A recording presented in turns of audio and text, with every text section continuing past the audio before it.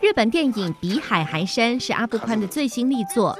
他在片中饰演一个不得志又深陷赌博的作家良多，前妻带着儿子离开他，在年迈母亲的苦心劝导下，良多终于决心重振。突如其来的台风夜将一家人困住，心也因此紧紧相系在一起。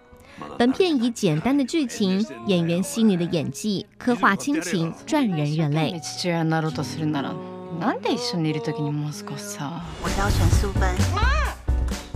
喜剧国片销售奇迹，白新贵饰演工作不顺、卡债高筑的卖场推销员，业绩始终挂蛋，只能看着前辈林美秀口若悬河，业绩呱呱叫。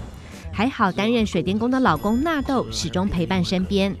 因缘际会下。白新会认识了销售天王，在精心改造下，白新会不仅成为电视购物主持人，业绩成绩也跟着三级跳。内销出去吧！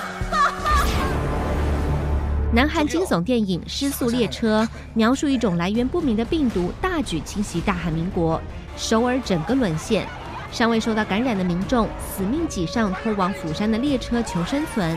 但大家没想到的是，成功挤上车的不止活人，还有受到病变的僵尸。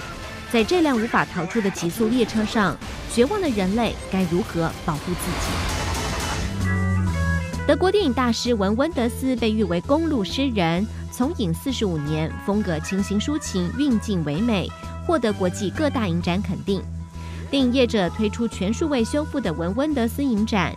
精选七部文温德斯的早期代表作，包括著名的公路三部曲，让影迷再次回味这些经典作品。